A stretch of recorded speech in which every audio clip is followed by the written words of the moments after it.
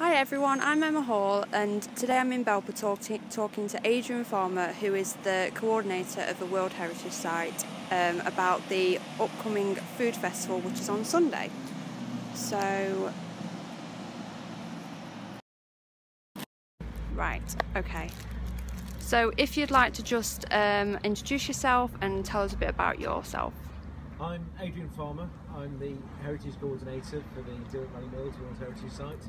Uh, so involved in all sorts of aspects of the World Heritage Site promotion, um, but also um, try and look after it, um, educate people about it, um, generally uh, help people to feel the love about how important this uh, this area is, and Belper is a big part of the World Heritage Site. Okay, and how does the Winter Food Festival benefit Belper?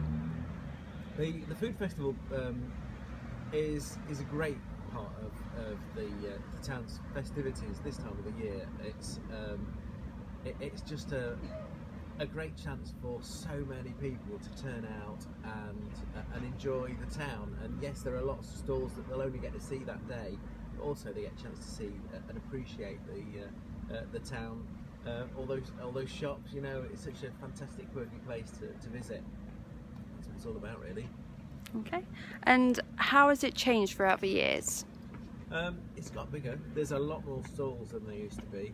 Um, there's more. It, it's it's food and drink now rather than just food, which is good. It's it's expanded, uh, and um, there's lots of extras that keep being added on because people want to be part of something that's, that's successful. You know, so certainly it's grown, uh, and and the number of people um, who, who participate has grown as well.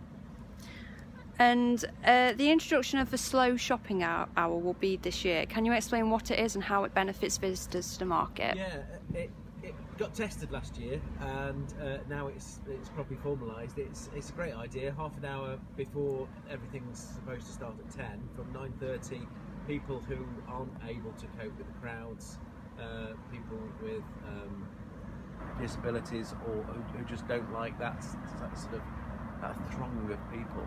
Mm. Uh, they get that opportunity to have a look around and enjoy the uh, the shops and, and the and the stalls before everybody else. Fantastic way. It, make, it so much more accessible. Uh, that inclusivity is is really what Belper's becoming all about now. It's fantastic. And how will it be different this year compared to other years? Um, this year there's um, this, again, it has grown again. There, there, are things to, to see and do that uh, there hasn't been before. Um, there's uh, they, they, keep adding a little bit on, so it's that you know you've got Strutt Street and Campbell Street as well. It's not just King Street. Plenty of plenty of choice, plenty of things going on. It's going to be it's going to be a good festival. Okay.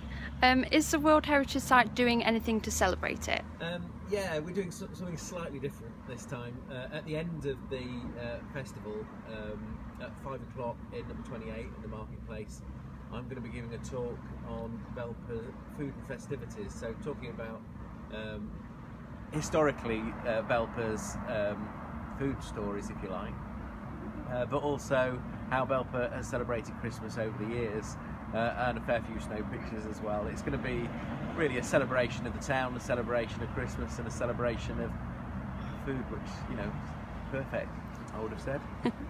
um, how do other events held throughout the year affect the area? Um, there's lots uh, of events going on. Um, you know, particularly around May, you've got the Arts Festival, with the Arts Trail, you've open houses it, it just gives the town a proper buzz. You talk to people about Belper and that more and more people are recognising, oh, Belper, because they've heard that there's so much going on and it's a great place to live. People um, certainly want to live here and, uh, and want to be part of, of, the events. It's always challenging getting uh, enough volunteers and the rest to, to do those things, but actually it's, uh, it's incredible what's achieved and, and, and the town's got a proper buzz about it. Do you think it has become more popular in recent years, the food festivals? Yeah, um, certainly there, there, seems to be a good few thousand turn out for it over the course of the, the day. You know, it could be as much as 10,000 people uh, in the town, which is phenomenal. It's, it's incredible to see. Uh, and um, it, it's it's just amazing that it, it just keeps on going, keeps growing, Mm. and, and people want to take part in it. Um, do you think Love Belper will have any impact on the success of the festival this year? Uh, yeah, I think so. I mean, Love Belper, it's still a, a brand new campaign, but it, it's um, so through social media, it's certainly starting to attract people's attention now. But the, the great thing was Eleanor Tomlinson switching on the Christmas lights, uh, and, and, and in front of about 4,000 people, getting them all to shout, "We love Belper! We love Belper!" Uh, that's exactly the kind of thing it needs. And I think, yeah, uh, certainly that Love Belper campaign is fantastic, and, and it's going to grow. It will grow. Um, why do you think Belper is so popular with independent businesses? It's quirky. Um, we got, when we got World Heritage uh, status, one of the first things we were able to get was um, 2.4 million's worth of grant money, which uh, was about restoring uh, buildings, but a big part of that was getting the shop fronts sorted. So there's a lot of, of shop fronts with all those sort of Edwardian detailing uh, that the Edwardians did so well back in place, uh, so that there's some really attractive looking shops. You know, if you actually stand back, don't just look through the window, but actually look at the shops themselves, and that all builds up. You know, if you if you've got enough of them, um, Belper looks right. It looks like an historic town. Uh, it looks like an interesting town centre. Yes, we've got all that, that around Poundland. There's a, a big chunk of 1960s, 70s uh, style um, development, which is a shame. But there's so much around it that the town looks good. People enjoy walking around and and, and um, just just feeling the love really of, of what a fantastic looking town it is. But as well, it's, the, it's a good mix of independence compared to a lot of towns. Um, we've got a good mix.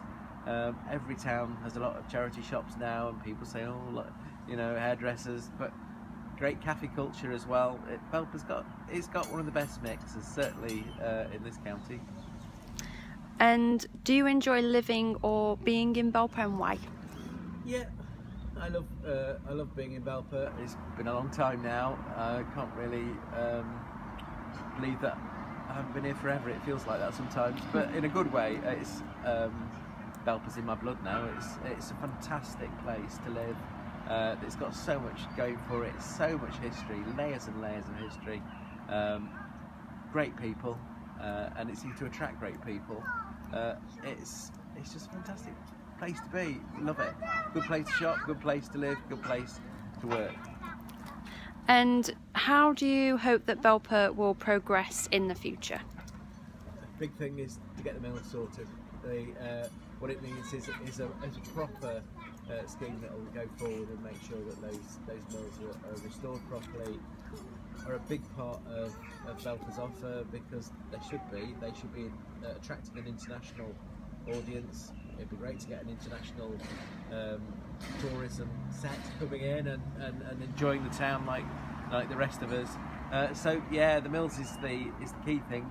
Other than that, making sure that we need new development, but it needs to be steady, not in huge amounts. It needs to be in the right place. It needs to be of the right kind, uh, and hopefully that will help. If, if people keep supporting their local shops, then everything will uh, will be uh, good and, and dandy. It'll be a good place to live and carry on being a fantastic place to live.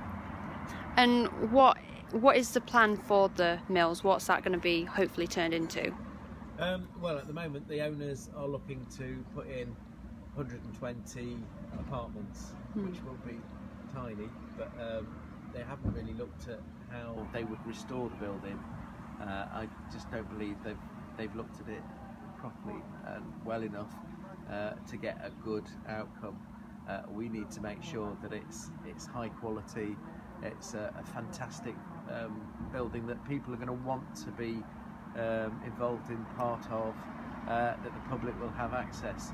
Um, we've still got a fair way to go, I think, but um, we've got to get a good got, got to get a good outcome. And do you want to add anything else? Uh, Merry Christmas, uh, and uh, I, hope, I hope people will come to the fair, enjoy it, and um, and take part in Belper's fantastic Christmas offer. Okay, lovely. Right. Okay, so that was Adrian Farmer, and we've just discussed um, a bit about Belper, and I hope you've all enjoyed it. Enjoyed it. So thank you for uh, joining. Um, and the food festival is on Sunday, this Sunday, the 9th of December, 10 a.m. till 4 p.m.